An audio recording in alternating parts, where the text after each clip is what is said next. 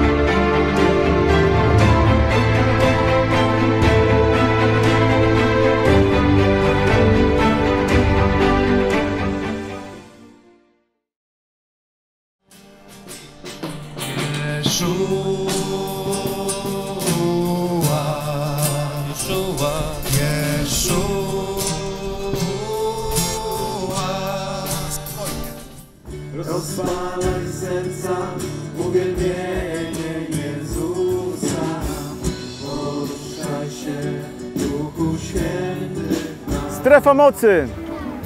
Strefa mocy. Dzisiaj pierwszy dzień graliśmy z zespołem WW Elbienie, Wołomińskie Wielbienie, czyli taki zespół z parafii robotnika w Wołominie. I bardzo się cieszymy, że mogliśmy tutaj grać, występować, chwalić Pana i przyzywać, żeby On tutaj Ducha Świętego zsyłał na Wołomin, żeby ludzie przybawieni muzyką, może nie naszą, ale taką piękną, jak chociażby za plecami, przychodzili, przychodzili, poznawali, że warto iść za Jezusem, że to nie jest takiego coś nieważnego, że to jest coś, co daje siłę, co daje uzdrowienie. I bardzo się z tego cieszymy. Cieszymy się, cieszymy, zapraszamy. Bardzo serdecznie witamy Wołomin, znaczy ten tłum w Wołominie, witamy, hej! Jesteśmy grupą ludzi, y, która y, doświadczyła tego, że jest Bóg. Doświ- jesteśmy ludźmi, którzy doświadczyli tego, że Bóg istnieje, Bóg działa i tego, że Bóg chce zmieniać życie człowieka, że Bóg kocha człowieka. Będziemy się tu z Wami też modlić o, o uzdrowienie, o doświadczenie Bożej miłości, Bożej mocy. Bo widzimy, że Bóg chce błogosławić w ciele człowieka, chce błogosławić w jego marzeniach, pragnieniach, chce błogosławić także jego finanse. Y, I my tego doświadczamy, z racji, że to doświadczamy, chcemy się tym y, doświadczeniem dzielić z innymi ludźmi. Bądź wojownikiem, pozytywnym wojownikiem. Bądź wojownikiem, bądź, bądź wojownikiem. Bądź wojownikiem, pozytywnym wojownikiem. Walcz miłością, duchową amunicją. Bądź wojownikiem, pozytywnym wojownikiem. Bądź wojownikiem, bądź, bądź wojownikiem. Bądź wojownikiem, pozytywnym wojownikiem. Walcz miłością, duchową amunicją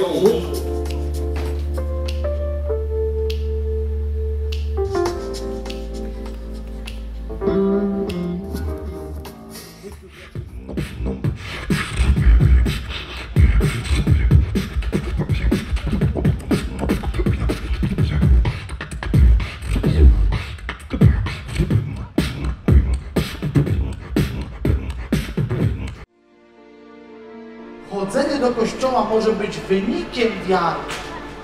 Czyli uwierzę w Boga, uwierzę Bogu, bo to jeszcze jest ważne, święty Tomasz za chwilę bardzo ten temat podnosi na wokandę.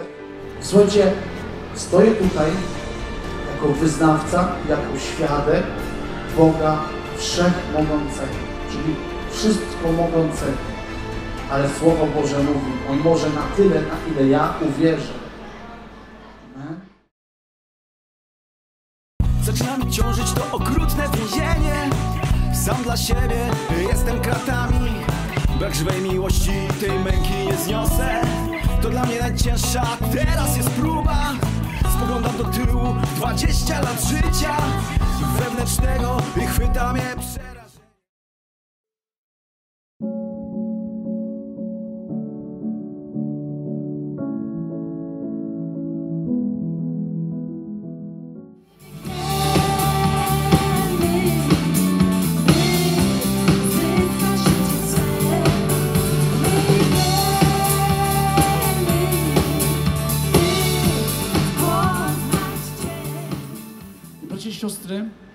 chciałbym teraz y, poprosić na scenę jeszcze raz chłopaków, którzy byli wczoraj, naszą Watachę Breakers, naszych chłopaków. Oni nam pokażą pewną scenkę. Popatrzcie teraz uważnie.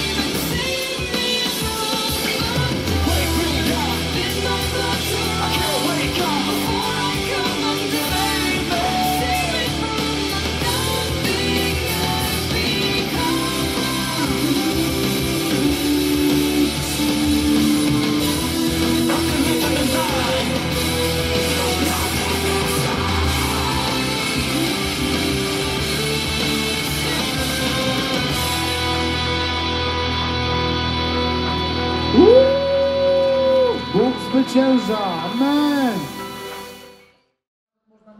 Jaki był wkład twój w strefę mocy? Co, co powiedziałeś, możesz powiedzieć teraz do mikrofonu. Ogólnie na strefie mocy jestem tutaj y, przede wszystkim dzięki Bogu, a z drugiej strony y, Witek, y, Witek Wilk, czyli sprawca całego zamieszania, całej strefy mocy, y, organizuje właśnie, y, oprócz tego, że organizuje właśnie strefę mocy, to jeszcze założył wspólnotę w mieście w Rzeszowie, czyli y, z miasta, z którego pochodzę. Y, Tam się spotkaliśmy. On miał pragnienie, aby na strefę mocy pojechali właśnie tancerze breaka, b-boye. Nie wie, y, dowiedział się o tym, y, że my właśnie, co, my też tam jest, y, chodzimy na jego wspólnotę, tańczymy breaka. Zaproponował nas, nam, abyśmy też y, wzięli w tym udział. Oprócz, I w ten sposób właśnie dzieli y, swoją pasją i miłością do Boga, y, którą wyrażamy poprzez tą pasję, e, staramy się ją pokazać ludziom, staramy e, się dać świadectwo ludziom, że można e, chwalić Boga robiąc e, dosłownie wszystko, prawda? To co Pismo Święte mówi, że cokolwiek robicie, czyńcie to na chwałę Bożą i my to robimy, prawda? Poza tym ja jeszcze dzielę się e, swoimi przeżyciami, swoimi emocjami, e, w jaki, e, moją relacją e, ja Bóg, prawda? E, Często ludzie, ponieważ to świadectwo, które właśnie mówiłem, nie? że jestem kontuzjowany, że mam e, poważne schorzenie pleców, ludzie często po każdej praktycznie strefie mocy, gdzie nie jesteśmy, podchodzą do mnie i mówią mi, że e, te ich świadectwo strasznie e, oddziałuje na nich, nie? Bo jestem jako jedyna osoba, która tutaj podchodzi. Dużo osób mówi świadectwo na strefie mocy, prawda? Ja jestem jako je- jedyna osoba, która e, się wyróżnia wśród nich, prawda? Bo tutaj wszyscy, którzy mówią o swoje świadectwa, mówią, że już dokonali, dos, e, doświadczyli łaski Pana Boga w sposób właśnie taki namacalny, że zostali uzdrowieni, że ktoś z ich rodziny został uzdrowiony, że do, doznali cudu. A właśnie tutaj teraz ja wychodzę jako człowiek, który właśnie nie doznał cudu. Ja mówię o tym, że wierzę, mimo iż e, moje plecy jeszcze nie zostały uzdrowione, mimo iż Witek się modlił, wiele ludzi się modlili, ja gorąco tego pragnę. Mówię im, że mimo iż jeszcze tego nie, e, nie mimo że jeszcze tego nie doświadczyłem, to Pan Bóg zawsze ma dla nas najlepszy plan. I to, że w tym momencie może tego y, nie doświadczam, że w tym momencie Pan Bóg jeszcze nie zabrał tej choroby ze mnie, to znaczy się nie zabrał. Ja uznaję za cud to, że w ogóle jeszcze funkcjonuje, ponieważ lekarz powiedział mi, że nie powinienem chodzić, że y, taki ból, który powinny mi sprawiać ta przepuklina, y, powinienem w ogóle wyeliminować mnie z ruchomych rzeczy, nie? Powinienem po prostu być e, niepełnosprawny już tak e, na papierze. No Mimo to ja się cały czas ruszam, chodzę, pomagam, rozkładam tutaj scenę. E, normalnie jeszcze pracuję, też trochę fizycznie przy tym, no i ćwiczę, nie? Oczywiście jest ten ból, nie? Ale nie jest on tak e, dotkliwy, jak e, prognozowali to medycy.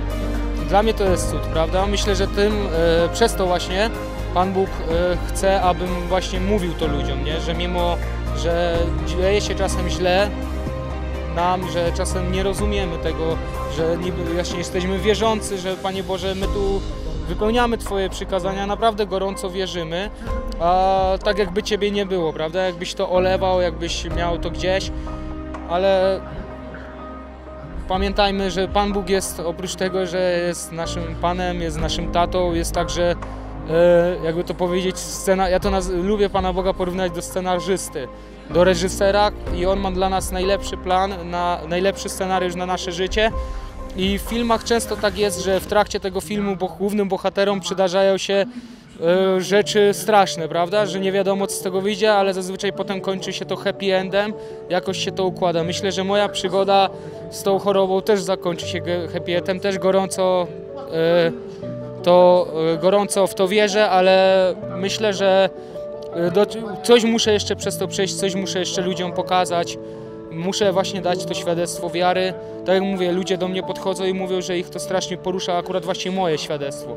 Więc być może dopiero po strefie mocy, nie wiem kiedy to będzie, co by się nie działo, będę ufał Panu Bogu i starał się mówić cały czas, nie moja, lecz Twoja wola niech się stanie. Amen. Dziękujemy. Czyli nie trzeba zostać wyleczonym ze strasznej choroby, żeby wierzyć. Dziękujemy bardzo. Do zobaczenia.